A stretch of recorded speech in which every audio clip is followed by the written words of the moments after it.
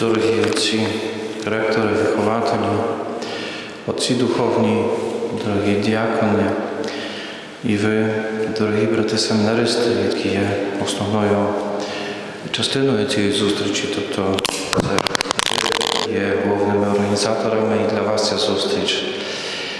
Так як вже на вступі до служби було сказано, що таким покровителем цієї зустрічі цьогорічної буде святий Йосип Більчевський, який є зв'язаний саме з Львівською архідієцезією, але думаю, що він є і добрим таким прикладом і пастирем для нас усіх.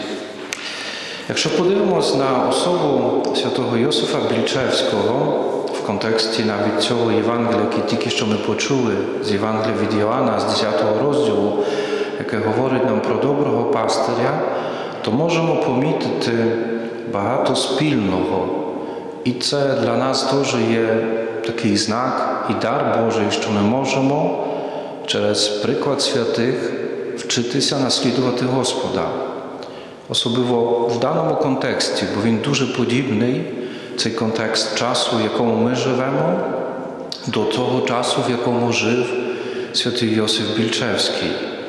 Він став оголошеним, був єпископом 1900. 900 році, тобто він був якраз на початку століття оголошеним і в 1901 році вже війшов тут до Львова як архієпископ. І перший такий знак його діяння це було то, що святий Йосип Більчевський пізнавав церкву. Він не народився тут, він народився тоді, що це була Краківська архідієцезія, сьогодні в невеличкому містечку в Ілянмовіцях, в великій родині, дев'ять дітей їх було, батьки дуже скромно жили. Але те, що було багатством цієї родини, це передавання віри. Він бачив, як батько, який багато працює, але як багато молиться, мама, яка була постійно з дітьми, основним завданням її було те, щоб передати дітям віру і любов до Бога. І коли Йосип приїжджає тут, вже як єпископ, після формації, після дійсно дуже великої освіти, він перше, що робить, вчиться слухати, що відбувається тут, щоб пізнати люд, пізнати церкву, пізнати потребу тих, які живуть, які є вірені йому. Як такий девіз свого пасторського служіння тут він вибирає цілковите посвячення справі церкви, тобто повністю присвятити себе справі церкви. І Йосип дійсно, коли приїхав, побачив, що має особливо зайнятися формацією семінаристів. І це було дійсно його великим завданням. Перше, що він почав робити і заохочувати по всіх парафіях, всіх спільнотах, щоб молитися за покликання, за тих, які є, і тих, які ще розкриваються покликання. За його служіння ця кількість семінаристів відразу збільшилася з 79 до 134. Тобто видно, що ця молитва відразу принесла свої плоди. Йосип дуже сильно дбав про те, щоб піднявся рівень духовного життя священників і богопосвячених осіб. Так як і тоді, і так і зараз, дуже часто ми говоримо про кризу церкви, про кризу віри, про секуляризацію і так далі. Так як і тоді, так і зараз подібно.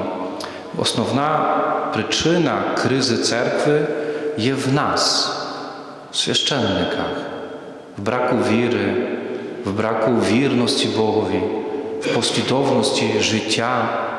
І в основному причиною кризи церкви є наше життя, брак наслідування Христа. І це, дорогі брати, для нас дуже чіткий знак. Тому Йосип, коли побачив, відчув цю церкву, до якої прибув, він, власне, перше прагнення, яке я хотів здійснити, це те, щоб підняти рівень духовного життя. І думаю, що це сьогодні дуже актуально для нас. Ми вже після виходу з Радянського Союзу пережили той етап такого дійсно мандрування, дозрівання. Але зараз приходить час, де слова святого Іоанна Павла II, який сказав у 2001 році, коли саме беатифікував святого Йосифа Більчевського тут у Львові, що церкво тут в Україні, особливо для нашої теж дієцезії, це було сказано, виплинь на глибінь. І дійсно це сьогодні, думаю, що дуже актуальні слова. Другим його завданням, яке Йосип чинить і впроваджує в життя, яке було на цей час досить занедбано, це катехеза дітей, молоді й дорослих. Перший лист, який він пише відразу в перший рік свого служіння як пастиря, скерований до того, щоб заохотити всіх священників і всіх богопосвячених до того, щоб проводили катехези. Подивіться, як сьогодні це важливе, якщо хочемо людей привести до Бога, потрібна катехізація. І це видно. Наприклад, брати на неокатехуменальній дорозі роблять катехези. Сьогодні подивіться, як часто ми чуємо навіть під час формації, як важлива є катехеза. А як в практиці, часто це наше завдання є занедбане. Як мало сьогодні є прикладених зусиль до того, щоб ця катехеза була дійсно свідоцтвом віри, щоб дійсно вона була таким запалом молодих людей до того, щоб жити Богом.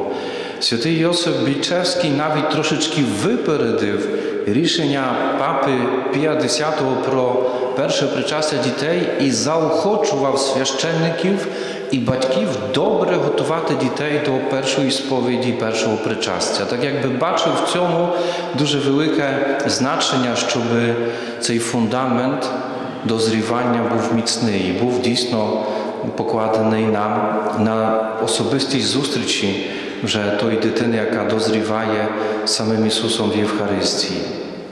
Третій знак, який Йосип залишає нам, який сьогодні також є актуальний для нас. Йосип побачив, що тут церква помісна дуже потребує такого оживлення Євхаристії. І він чітко почав так провадити програми душпастерські тут на території Львівської архідієцезії, щоб оживити Євхаристію. Створював різні е, спільноти, які мали на меті провадити адорацію пресвятих дарів. Заохочував священників, щоб пережиття Євхаристії не було тільки таким формальним, зовнішнім відслуженням якогось обряду, тільки дійсно, щоб це була пережита Євхаристія як зустріч з Господом, Господом, якого ти потім даєш людові Божому. Мої брати, подивіться, як це сьогодні актуально. Навіть якщо сьогодні дивимося на церкву, можемо відверто сказати, там, де є жива Євхаристія, там, де священник живе Євхаристію, сам її переживає, і де дійсно люд Божий з цієї Євхаристії бере і приймає Ісуса, там церква є жива. Там, де є занедбання, таїнства сповіді, немає адорації, немає Євхаристії, там церква помирає. Недавно я розмовляв зі своїм одним співбратом, який працює в Німеччині. Він попав в таке місце, де колись церква була дуже потужною, сильною, а зараз вже так занепадає.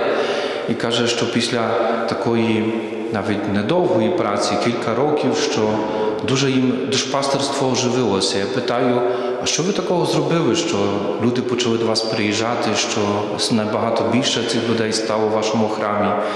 А він каже, нічого особливого. Ми просто почали сповідати. Ми почали звершувати Євхаристії, на Євхаристії проповідувати Слово Боже кожного дня, коротеньке, але кожного дня. Ми робили нічні адорації, заохочували людей для того, щоб вони на тих, в тих адораціях брали активну участь. І так поступово люди, спочатку маленька спільнота, потім створилось кілька спільнот, а потім, каже, в нас вже витворилось ціле душпастерство, але все було засноване на Євхаристії. І думаю, що сьогодні це і нам потрібне, дорогі брати, Ми сьогодні дуже багато зусиль прикладаємо в різних напрямках, дуже багато старань прикладаємо в різних зовнішніх наших діях, але дуже часто, власне, може замало уваги, замало такого пережиття є власне в Євхаристії, яку також і зараз будемо переживати разом тут як спільнота. І четвертий останній такий дар, який нам дає Бог через святого Йосифа Більчевського. Йосиф побачив, що церква потребує до конкретної спільноти. Тобто це не так, що люди собі десь там приходять, що є анонімне християнство, хтось прийшов, велика спільнота. Тому його метою було і прагненням, щоб в кожному, навіть найменшому поселенні був свій храм. І він це робив. Навіть попросив одного з архітекторів, дуже знаного на цей час у Львові, Обмінський, фамілія його, щоб зробив йому три проекти на 200 осіб, на 400 і на 600. Уявіть собі, що в нас в архідієцезі дуже багато є таких храмів, які побудував святий Йосип Більчевський, і відразу видно, чи це є цей перший на 200 осіб, чи цей на 400, чи на 600. За своє служіння, за 22 роки свого служіння як пастиря Львівської архідіцезії, він побудував 328 нових храмів і каплиць різного розміру, великих чи малих. Кількість парафій зросла з 223 до 261, храмів ректоральних з 39 до 135, монастирів, в яких жили сестри, за його служіння було 135 на території Львівської архідієцезії. В них перебувало 865 сестер. Нас навіть зараз в усій країні повністю немає стільки богопосвячених осіб, сестер, як було тільки тут, на території однієї дієцезії. Дорогі брати, власне, це є дуже важливе, щоб ми зрозуміли, що Бог дає нам покликання в дуже непростий час, час випробування нашої віри, час дійсно такого великого загублення світу, хаосу, який триває в світі. Бог нас кличе не тому, що ми найкращі, що ми маємо найбільші чи найбільш відповідні здібності. Це не так. Не треба себе обманювати, не треба жити в якомусь е, світі ідеалу. Бог нас кличе, тому що Він хоче через нас, таких слабих, е, нездібних, творити свої чуда. І ті чуда будуть тільки тоді присутні, якщо ми, так як святий Йосип, не будемо жити за власною програмою чи стратегією, а будемо слухати Бога. І тоді дійсно ми можемо побачити, як з маленького служіння може, може проявитися велика слава Божа. Тому хочу просити вас, не бажати, просити, щоб ви на етапі формації навчилися основного. Вчимося багато речей, але навчити, навчитися основного слухати Бога. Віра народжується зі слухання. І це є дуже важливе, щоб зараз на цьому етапі, на якому ви є, щоб основний акцент свого такого дозрівання в вірі це є слухати Бога, слухати, відчувати, як Бог формує Твоє серце, Твоє сумління, Твоє мислення, як Він тебе веде, як Він відкриває тобі кожного дня, яка є Його воля.